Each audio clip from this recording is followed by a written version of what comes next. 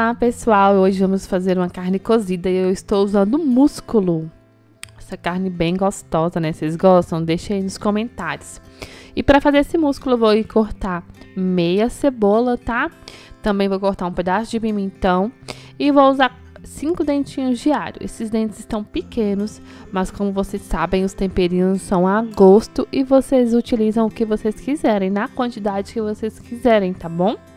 Então eu vou picando tudo aí direitinho nessa minha tábua de melancia que todo mundo ama.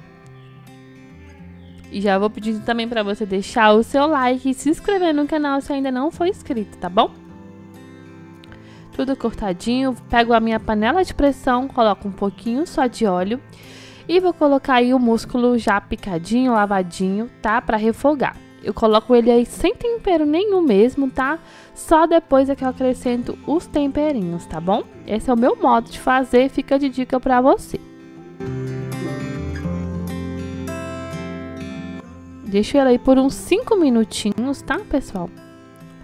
Ó, já se passaram 5 minutinhos. Ele já deu uma refogadinha. Agora sim eu acrescento aí o que eu acabei de picar, né? A cebola, o pimentão e o alho.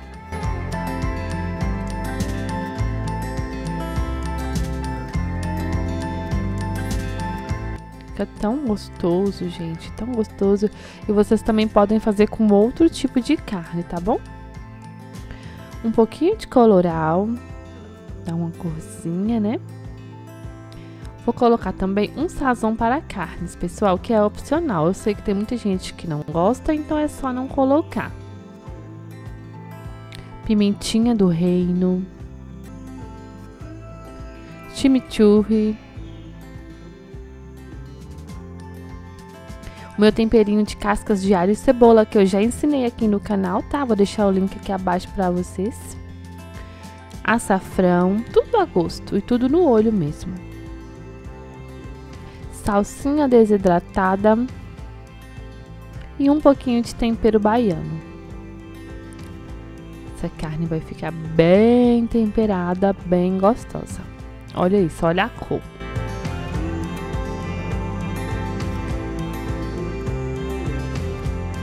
Gente, deixei refogando mais um pouquinho, mais uns 5 minutinhos, tá? E agora eu vou colocar um tomate picadinho, um tomate bem madurinho picadinho, que também faz toda a diferença. Cebolinha verde congelada que eu tinha aqui.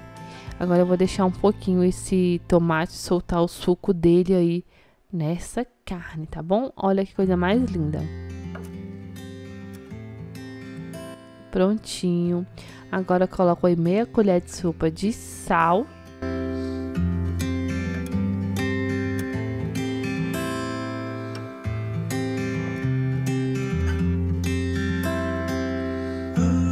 Agora eu venho com a água, a água já está quente e eu coloco água, pessoal, até mais ou menos cobrir essa carne.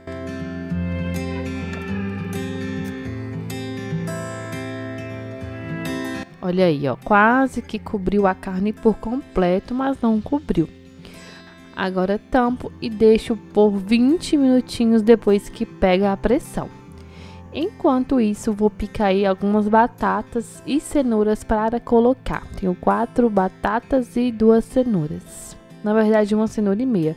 Que era o que eu tinha em casa, mas vocês coloquem a quantidade que vocês quiserem, tá bom?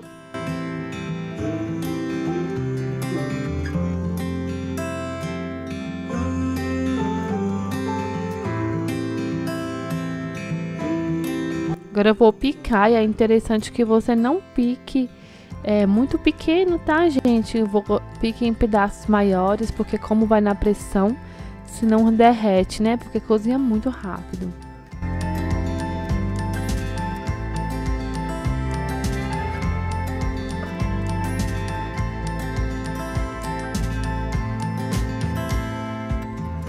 Vinte minutinhos depois, a carne já cozinhou, olha só, pessoal.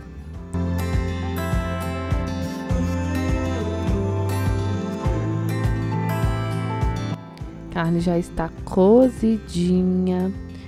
Agora sim, vou acrescentar os legumes que acabei de picar.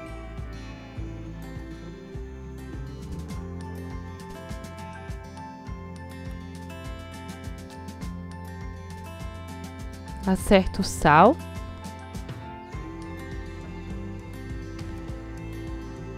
Coloquei mais um pouquinho de água e vou deixar aí por mais 5 minutinhos apenas, tá, gente?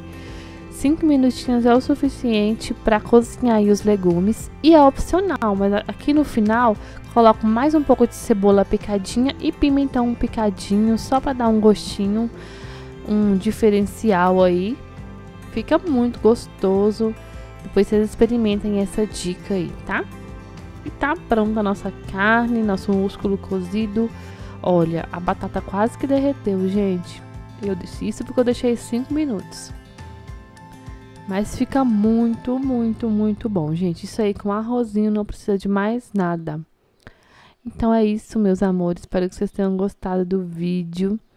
Muito obrigada por estarem aqui comigo, tá bom? Deus abençoe a cada um de vocês.